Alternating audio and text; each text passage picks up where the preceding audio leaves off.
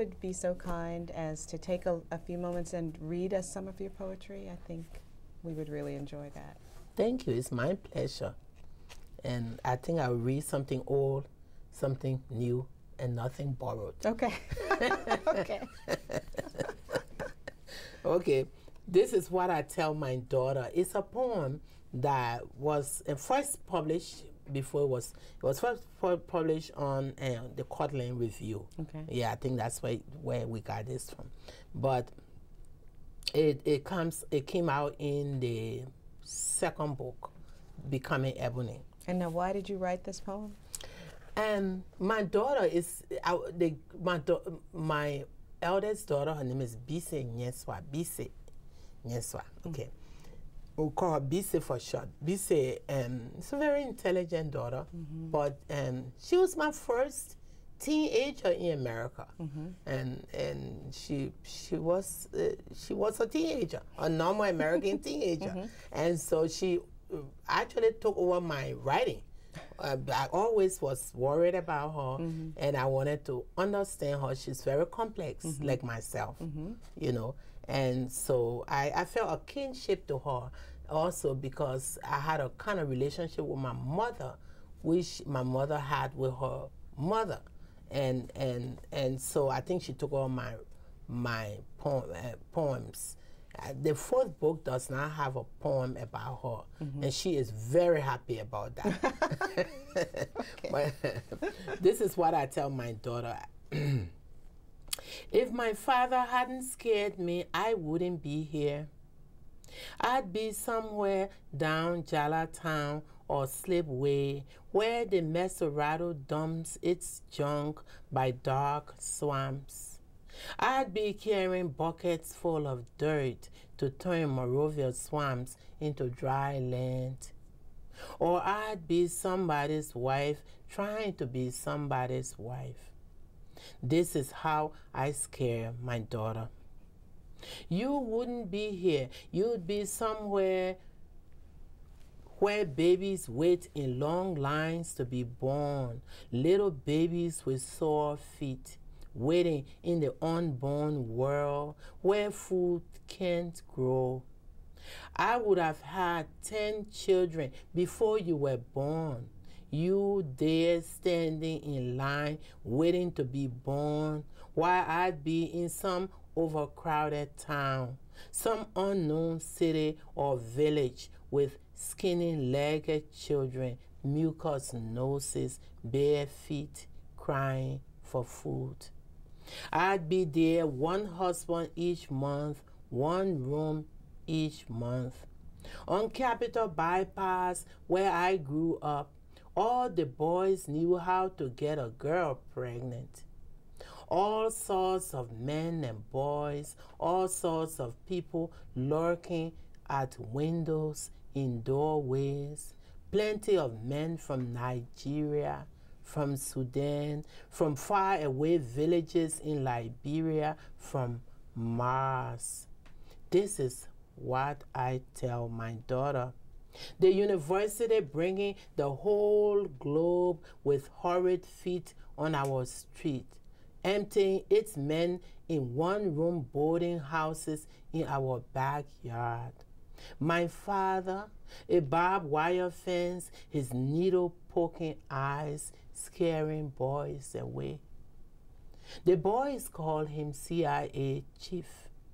The girls on Capitol Bypass with their perky brown cheeks, their smooth, pretty skin, their sophisticated steps, my father called them grown-up girls, bringing home sad trophies in teen arms.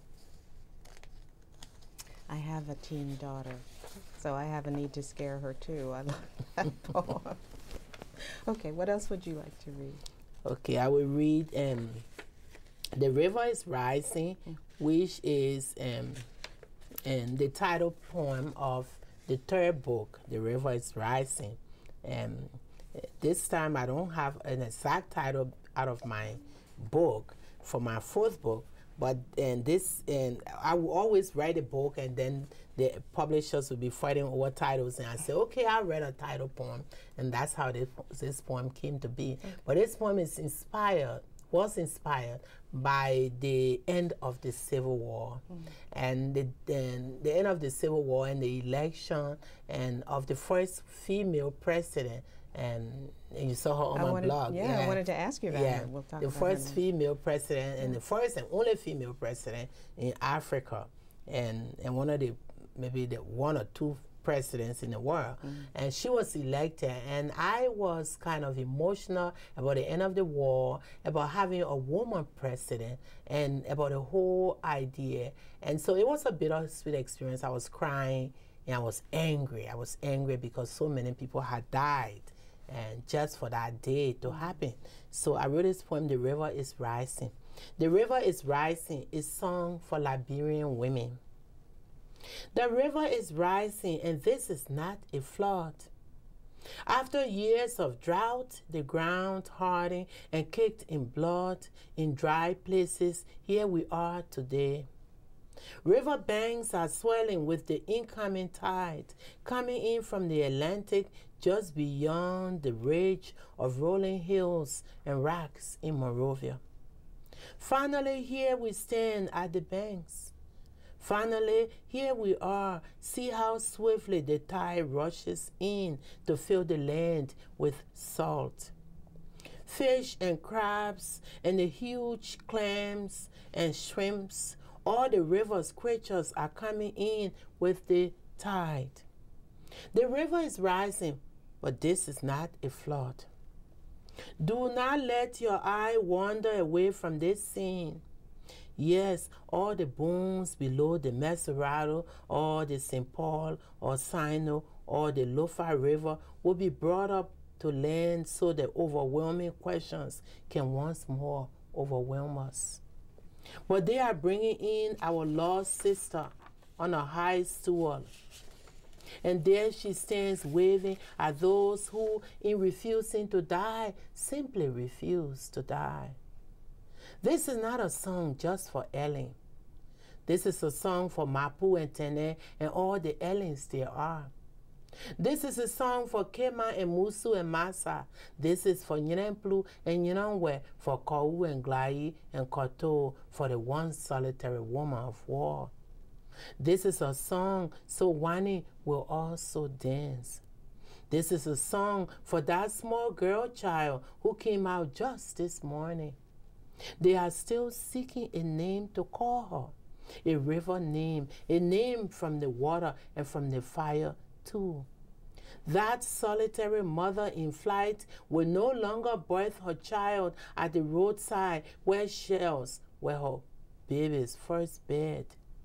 Let the womb quiver, let church bells jingle, let hundreds of drum pound clan clangte. Let men bring out old trumpets so the wind will take flight. Let that small pepper bird on a tree branch sing and cry no more the solitary song. Let the Mesurado behind my home, or what was my home, or still is, or maybe, maybe who cares? The river is rising, but this is not a flood.